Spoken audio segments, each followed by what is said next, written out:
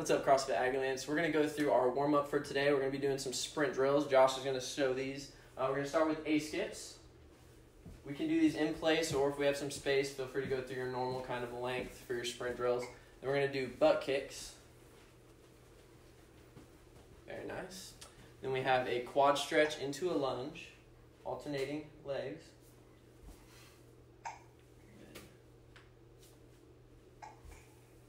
Then we have Frankenstein's. Get a nice little hamstring stretch here, kicking. Very good. And then we have hop, hop, squat. Two hops, one squat, boom.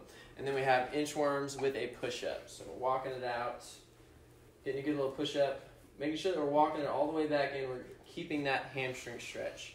Uh, so that's going to be our warm up for today.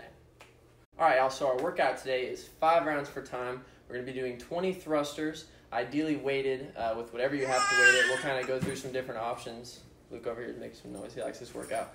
Then we have 20 chair step ups, and then we're going to be doing 20 chair, bench, couch dips. We'll kind of go through all our options here. So first is the thruster. Josh is going to be using a suitcase. You can use anything that for weight that you have around, crock pot, anything.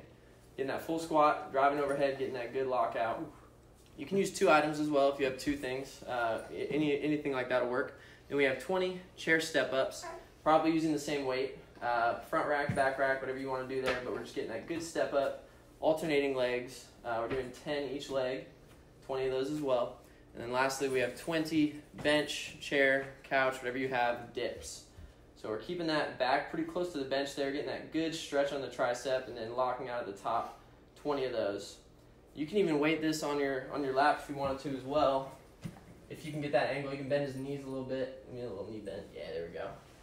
Doesn't work that great, but you can figure out. All right, that's gonna be our workout for today.